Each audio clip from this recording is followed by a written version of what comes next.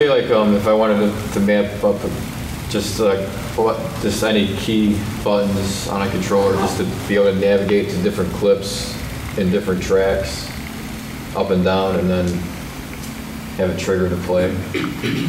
So this is, so everything's got to be in the scene. But there's, but the MIDI map is also a play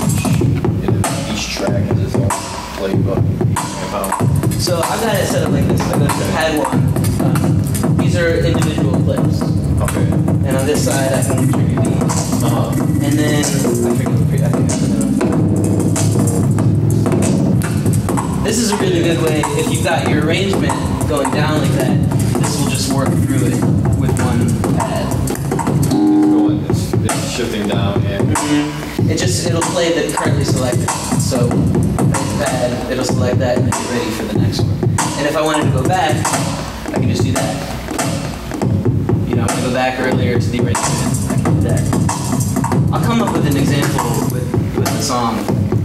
But it's a really cool way to get like hands-free with the software.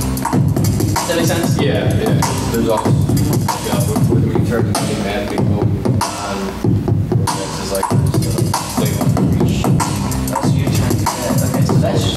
I think it's Just one, any clip. yeah.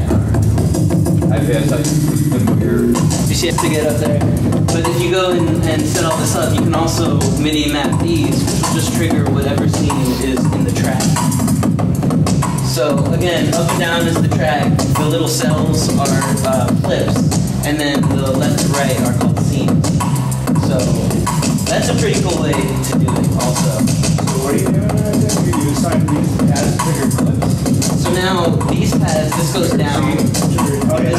Yeah. pad goes up, and this is just like selecting. Nothing's triggering yet.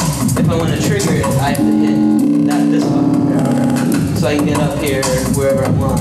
Then I assign this pad to trigger whatever is selected just on this track, and this pad to trigger whatever is selected on that track. Oh, so So- trigger whatever. If I just, cool. let's say this is the pink, and then I want to go down and just trigger this blue on the right hand side,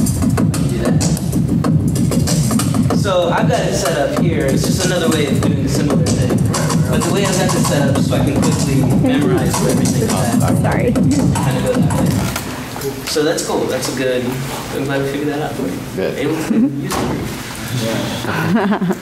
Um, okay. So